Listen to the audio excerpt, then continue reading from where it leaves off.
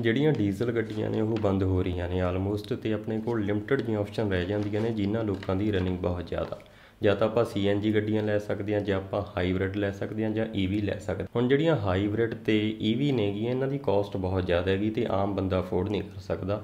ਪਰ ਜਿਹੜੀਆਂ ਸੀਐਨਜੀ ਗੱਡੀਆਂ ਨੇਗੀਆਂ, ਇਹ ਸਟਾਰਟ ਹੋ ਜਾਂਦੀਆਂ ਨੇ ਤਕਰੀਬਨ 6-7 ਲੱਖ ਤੋਂ। 6-7 ਲੱਖ ਤੋਂ ਸਟਾਰਟ ਹੋ ਜਾਂਦੀਆਂ ਤੇ ਇਹਨਾਂ ਦੀ ਮਾਈਲੇਜ ਵੀ ਕਾਫੀ ਵਧੀਆ ਆਉਂਦੀ ਆ, ਪਰ ਆਪਣੇ ਜਿਹੜੇ ਮਨ ਨੇ, ਉਹਨਾਂ ਵਿੱਚ ਕਾਫੀ ਵਹਿਮ ਰਹਿੰਦੇ ਆ ਵੀ ਕੀ ਸੀਐਨਜੀ ਗੱਡੀ ਸਹੀ ਰਹਿੰਦੀ ਹੈ, ਕੀ ਸੀਐਨਜੀ ਨਾਲ ਇੰਜਨ ਤਾਂ ਨਹੀਂ ਖਰਾਬ ਹੁੰਦਾ, ਕੀ ਸੀਐਨਜੀ ਨਾ ਬਲਾਸਟ ਵੀ ਹੋ ਸਕਦਾ ਹੈਗਾ। ਸੋ ਅੱਜ ਦੀ ਵੀਡੀਓ 'ਚ ਆਪਾਂ ਇਹਨਾਂ ਸਾਰੀਆਂ ਗੱਲਾਂ ਬਾਰੇ ਗੱਲ ਕਰਾਂਗੇ। ਸੋ ਹੁਣ ਪੈਟਰੋਲ ਤੇ ਸੀਐਨਜੀ ਵਿੱਚੋਂ ਕਿਹੜੀ ਸਹੀ ਰਹਿੰਦੀ ਹੈ? ਹੁਣ ਇਹਦੇ ਵਿੱਚ ਕੀ ਆ? ਮੇਨਲੀ ਆਪਣੀ ਯੂਜ਼ ਤੇ ਡਿਪੈਂਡ ਕਰਦਾ। ਜੇ ਤਾਂ ਆਪਣੀ ਮਤਲਬ ਰਨਿੰਗ ਆ ਘੱਟ ਹੈਗੀ, ਤਾਂ ਤਾਂ ਪੈਟਰੋਲ ਹੀ ਸਹੀ ਆ। ਜੇ ਆਪਣੀ ਰਨਿੰਗ ਜ਼ਿਆਦਾ ਹੈਗੀ, ਤਾਂ ਸੀਐਨਜੀ ਸਹੀ ਰਹਿੰਦੀ ਹੈ ਪਰ ਤੁਹਾਨੂੰ ਇੱਕ ਗੱਲ ਦਾ ਧਿਆਨ ਰੱਖਣਾ ਚਾਹੀਦਾ ਵੀ ਜਿਹੜੀ ਸੀਐਨਜੀ ਗੱਡੀ ਆ, ਜਿਹੜੀ ਕੰਪਨੀ ਫਿਟ ਸੀਐਨਜੀ ਆਉਂਦੀ, ਉਹ 65000 ਤੋਂ ਲੈ ਕੇ 1 ਲੱਖ ਤੱਕ ਜਿਹੜੀ ਕਾਸਟ ਆਪਾਂ ਨੂੰ ਦੇਣੀ ਪੈਂਦੀ ਐਕਸਟਰਾ ਸੋ ਉਸ ਨੂੰ ਕੈਲਕੂਲੇਟ ਕਰ ਲੈਣਾ ਚਾਹੀਦਾ ਵੀ ਜਿੰਨਾ ਟਾਈਮ ਤੁਸੀਂ ਗੱਡੀ ਰੱਖਣੀ ਆ, ਕੀ ਤੁਸੀਂ ਇੰਨੀ ਕਾਸਟ ਨੂੰ ਰਿਕਵਰ ਕਰ ਸਕਦੇ ਹੋਗੇ ਸੋ ਹੁਣ ਕੀ ਸੀਐਨਜੀ ਨਾਲ ਇੰਜਨ ਖਰਾਬ ਹੁੰਦਾ ਹੈਗਾ? ਸੀਐਨਜੀ ਨਾਲ ਇੰਜਨ ਖਰਾਬ ਨਹੀਂ ਹੁੰਦਾ ਜੇ ਸੀਐਨਜੀ ਸਹੀ ਤਰੀਕੇ ਨਾਲ ਲੱਗੀ ਹੋਵੇ। ਸੋ ਪਹਿਲੀ ਗੱਲ ਤਾਂ ਜਿਹੜੀ ਆਪਾਂ ਨੂੰ ਸੀਐਨਜੀ ਗੱਡੀ ਲੈਣੀ ਚਾਹੀਦੀ ਆ, ਉਹ ਜਿਹੜੀ ਕੰਪਨੀ ਫਿਟਡ ਸੀਐਨਜੀ ਹੈਗੀ, ਉਹੀ ਆਪਾਂ ਨੂੰ ਲੈਣੀ ਚਾਹੀਦੀ ਹੈ ਕਿਉਂਕਿ ਉਹਨਾਂ ਨੇ ਜਿਹੜਾ ਇੰਜਨ ਆ, ਉਸ ਅਕੋਰਡਿੰਗ ਟਿਊਨ ਕੀਤਾ ਹੁੰਦਾ ਹੈਗਾ। ਵੀ ਜਿਹੜੀ ਪਰਫਾਰਮੈਂਸ ਵੀ ਵਧੀਆ ਮਿਲੇ ਤੇ ਜਿਹੜਾ ਇੰਜਨ ਆ, ਉਹਦੀ ਲਾਈਫ ਵੀ ਲੰਬੀ ਚੱਲੇ, ਕਿਉਂਕਿ ਜੇ ਆਪਾਂ ਕਿਸੇ ਲੋਕਲ ਟੈਕਨੀਸ਼ੀਅਨ ਤੋਂ ਬਾਅਦ ਸੀਐਨਜੀ ਇੰਸਟਾਲ ਕਰਵਾਉਣੀ ਆ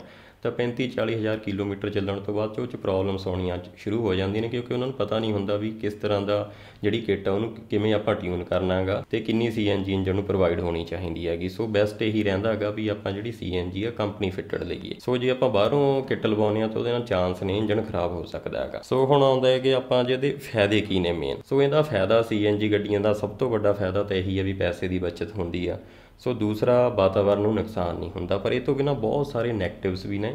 ਤੁਹਾਨੂੰ ਸਿਰਫ ਪੈਸੇ ਦੀ ਬਚਤ ਵੱਲ ਨਹੀਂ ਜਾਣਾ ਚਾਹੀਦਾ ਤੇ ਨੈਗੇਟਿਵਸ ਨੂੰ ਦੇਖਣਾ ਚਾਹੀਦਾ। ਮੇਨਲੀ ਵੀ ਤੁਹਾਨੂੰ ਉਹ ਨੈਗੇਟਿਵਸ ਤਾਂ ਨਹੀਂ ਇਫੈਕਟ ਕਰ ਰਹੇ। ਸੋ ਹੁਣ ਇਹਦਾ ਪਹਿਲਾ ਹੈਗਾ ਇਨੀਸ਼ੀਅਲ ਕਾਸਟ ਸੋ ਆਏ ਨਾ ਹੋਵੇ ਵੀ ਤੁਸੀਂ ਸੀਐਨਜੀ ਗੱਡੀ ਲੈ ਲਓ ਵੀ ਪੈਸੇ ਦੀ ਬਚਤ ਹੋਵੇ।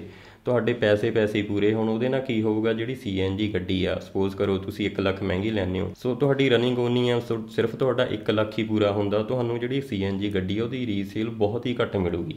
ਕਿਉਂਕਿ ਅਗਲੇ ਨੂੰ ਪਤਾ ਹੁੰਦਾ ਵੀ ਗੱਡੀ ਸੀਐਨਜੀ ਤੇ ਚੱਲੀ ਹੈਗੀ, ਸੋ ਬਹੁਤ ਜ਼ਿਆਦਾ ਚੱਲੀ ਹੋਊਗੀ, ਤਾਂ ਕਰਕੇ ਰੀਸੇਲ ਨਹੀਂ ਮਿਲਦੀ। ਵੈਸੇ ਵੀ ਲੋਕਾਂ ਨੂੰ ਡਾਊਟ ਰਹਿੰਦਾ ਹੈਗਾ ਵੀ ਸੀਐਨਜੀ ਨਾਲ ਇੰਜਨ ਖਰਾਬ ਹੋ ਜਾਂਦਾ। ਇੰਜਨ ਖਰਾਬ ਹੋ ਜਾਂਦਾ ਜੇ ਪ੍ਰੋਪਰ ਮੇਨਟੇਨ ਨਹੀਂ ਕੀਤਾ ਜਾਂਦਾ। ਸੋ ਦੂਸਰਾ, ਇਹਦੀ ਮੇਨਟੇਨੈਂਸ ਹਾਈ ਹੁੰਦੀ ਆ ਥੋੜੀ ਜੀ ਕਿਉਂਕਿ ਜਿਹੜਾ ਇੰਜਨ ਆ ਇੰਜਨ ਨੂੰ ਮੇਨਟੇਨ ਕਰਨ ਦੇ ਨਾਲ ਨਾਲ ਸੀਐਨ ਜਿਹੜੀ ਕਿੱਟ ਉਹ ਵੀ ਮੇਨਟੇਨ ਕਰਨੀ ਪੈਂਦੀ ਆ ਟਾਈਮ ਟੂ ਟਾਈਮ ਤੇ ਤੀਜਾ, ਇਹਦਾ ਫਟਣ ਦਾ ਡਰ ਜ਼ਿਆਦਾ ਰਹਿੰਦਾ, ਕਿਉਂਕਿ ਜਦੋਂ ਆਪਾਂ ਪੈਟਰੋਲ ਪਵਾਉਨੇ ਆਂਗੇ ਗੱਡੀ ਦੇ ਵਿੱਚ ਪੈਟਰੋਲ ਤਾਂ ਨਾਰਮਲੀ ਪੈਂਦਾ ਹੈਗਾ, ਕੋਈ ਪ੍ਰੈਸ਼ਰ ਨਹੀਂ ਹੁੰਦਾ, ਪਰ ਜਿਹੜੀ ਸੀਐਨਜੀ ਹੈ, ਉਹ ਪ੍ਰੈਸ਼ਰ ਨਾਲ ਫਿਲ ਕੀਤੀ ਜਾਂਦੀ ਹੈ। ਸੋ ਕੋਈ ਐਕਸੀਡੈਂਟ ਹੁੰਦਾ ਹੈਗਾ ਜਾਂ ਕੁਝ ਹੁੰਦਾ, ਕਿਸੇ ਤਰੀਕੇ ਨਾਲ ਫਟ ਸਕਦੀ ਹੈਗੀ। ਬਾਕੀ ਇਹਦਾ ਲੀਕੇਜ ਦਾ ਡਰ ਹਮੇਸ਼ਾ ਬਣਿਆ ਰਹਿੰਦਾ ਹੈਗਾ। ਜੇ ਸੀਐਨਜੀ ਕਿਟ ਖਾਸ ਕਰਕੇ ਬਾਹਰੋਂ ਲਵਾਈ ਹੈ, ਤਾਂ ਲੀਕੇਜ ਦਾ ਡਰ ਬਣਿਆ ਰਹਿੰਦਾ ਹੈਗਾ। ਸੋ ਲੀਕੇਜ ਨਾਲ ਵੀ ਬਲਾਸਟ ਵਗੈਰਾ ਹੋ ਸਕਦਾ ਹੈਗਾ, ਬਾਕੀ ਆਪਣੇ ਸਿਹਤ ਲਈ ਤਾਂ ਹਾਨੀਕਾਰਕ ਉਹ ਚੀਜ਼ ਹੈ ਹੀ ਆ। ਬਾਕੀ ਜਿਹੜਾ ਬੂਟ ਸਪੇਸ ਆ ਸੀਐਨਜੀ ਨਾਲ ਬਹੁਤ ਹੱਦ ਤੱਕ ਕੰਪਰੋਮਾਈਜ਼ ਹੋ ਜਾਂਦਾ।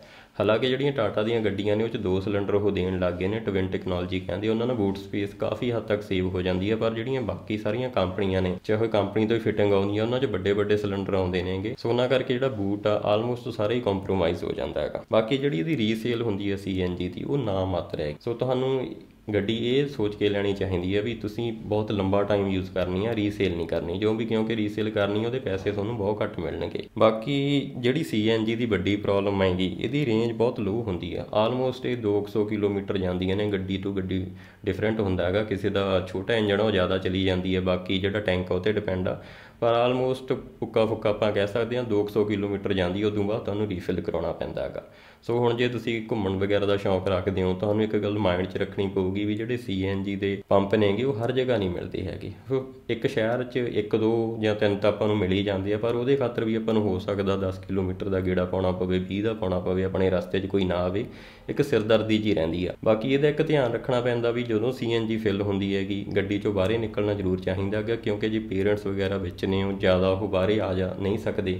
ਸੋ ਉਹਨਾਂ ਨੂੰ ਵੀ ਇੱਕ ਸਿਰਦਰਦੀ ਜੀ ਹੋ ਜਾਂਦੀ ਹੈ ਵਾਰ-ਵਾਰ ਬਾਹਰੇ ਕੱਢਣ ਦੀ। ਸੀਐਨਜੀ ਗੱਡੀਆਂ ਦੀ ਇੱਕ ਮੇਨ ਡਰਾਬੈਕ ਹੁੰਦੀ ਹੈ ਵੀ ਇਹਦੇ ਨਾਲ ਜਿਹੜੀ ਇੰਜਨ ਦੀ ਪਰਫਾਰਮੈਂਸ ਉਹ ਕਾਫੀ ਘਟ ਜਾਂਦੀ ਹੈ। ਸੋ ਤੁਹਾਨੂੰ ਕਾਫੀ ਫ਼ਰਕ ਮਹਿਸੂਸ ਹੋਊਗਾ ਵੀ ਗੱਡੀ 'ਚ ਜਾਨ ਨਹੀਂ ਹੈਗੀ। ਹੁਣ ਜਿਹੜੇ ਤਾਂ ਨਾਰਮਲ ਮਤਲਬ ਜਿਵੇਂ ਆਪਣਾ ਪੰਜਾਬ ਆ, ਪੱਧਰੇ ਏਰੀਆ 'ਚ ਰਹਿੰਦੇ ਹਨ ਉਹਨਾਂ ਲਈ ਤਾਂ ਸਹੀ ਰਹਿੰਦੀ ਹੈ ਸੀਐਨਜੀ ਬਾਕੀ ਜਿਹੜੇ ਲੋਕ ਪਹਾੜਾਂ 'ਚ ਰਹਿੰਦੇ ਆ ਜਾਂ ਤੁਸੀਂ ਪਹਾੜਾਂ 'ਚ ਘੁੰਮਣ ਦਾ ਸ਼ੌਂਕ ਰੱਖਦੇ ਹੋ, ਉੱਥੇ ਆ ਕੇ ਗੱਡੀ ਤੁਹਾਨੂੰ ਪੈਟਰੋਲ ਤੇ ਕਰਨੀ ਪਊਗੀ ਕਿਉਂਕਿ ਤੁਹਾਨੂੰ ਪਿਕਅਪ ਨਹੀਂ ਮਿਲਣੀ ਹੈਗੀ ਜਾਂ। ਬਾਕੀ ਜਿਹੜੇ ਗੈਸ ਸਟੇਸ਼ਨ ਨੇ ਉਹ ਤਾਂ ਘੱਟ ਹੈਗੀ ਆ, ਤੁਹਾਨੂੰ ਪਤਾ ਹੀ ਆ। ਸੋ ਹੁਣ ਮੇਨ ਗੱਲ ਉੱਥੇ ਹੀ ਘੁੰਮ ਕੇ ਆ ਜਾਂਦੀ ਹੈ ਜੇ ਤੁਹਾਨੂੰ ਇਹ 네ਗੇਟਿਵ ਸੂਟ ਕਰਦੇ ਨੇਗੇ ਵੀ ਤੁਹਾਨੂੰ ਪ੍ਰੋਬਲਮ ਨਹੀਂ ਹੈਗੀ, ਤੇ ਤੁਹਾਡੀ ਰਨਿੰਗ ਬਹੁਤ ਜ਼ਿਆਦਾ ਤੁਸੀਂ ਆਪਦਾ ਜਿਹੜੀ ਇਨੀਸ਼ੀਅਲ ਕਾਸਟ ਉਹਨੂੰ ਕੱਢ ਕੇ ਵੀ ਬਹੁਤ ਸਾਰੇ ਪੈਸੇ ਬਚਾ ਸਕਦੇ ਹੋ ਤੇ ਜਿਹੜੀ ਰੀਸੇਲ ਵੈਲਿਊ ਉਹਨੂੰ ਵੀ ਤੁਸੀਂ ਧਿਆਨ 'ਚ ਰੱਖਣਾ ਹੈਗਾ। ਸੋ ਫਿਰ ਵੀ ਤੁਹਾਨੂੰ ਫਾਇਦਾ ਹੈਗਾ, ਤਾਂ ਹੀ ਤੁਹਾਨੂੰ ਸੀਐਨਜੀ ਵੱਲ ਜਾਣਾ ਚਾਹੀਦਾ ਅਦਰਵਾਈਜ਼ ਬਿਨਾਂ ਵਜ੍ਹਾ ਸੀਐਨਜੀ ਵੱਲ ਨਹੀਂ ਜਾਣਾ ਚਾਹੀਦਾ ਤੇ ਜਿਹੜੇ ਲੋਕਲ ਟੈਕਨੀਸ਼ੀਅਨ ਵਗੈਰਾ ਨੇਗੇ, ਜਿਨ੍ਹਾਂ ਨੂੰ ਪ੍ਰੋਪਰ ਨੌਲੇਜ ਨਹੀਂ ਹੈ, ਉਹਨਾਂ ਨੂੰ ਅਵੋਇਡ ਕਰਨਾ ਚਾਹੀਦਾ ਹੈਗਾ ਸੀਐਨਜੀ ਕਿਟ ਇੰਸਟਾਲ ਕਰਵਾਉਣ ਤੋਂ।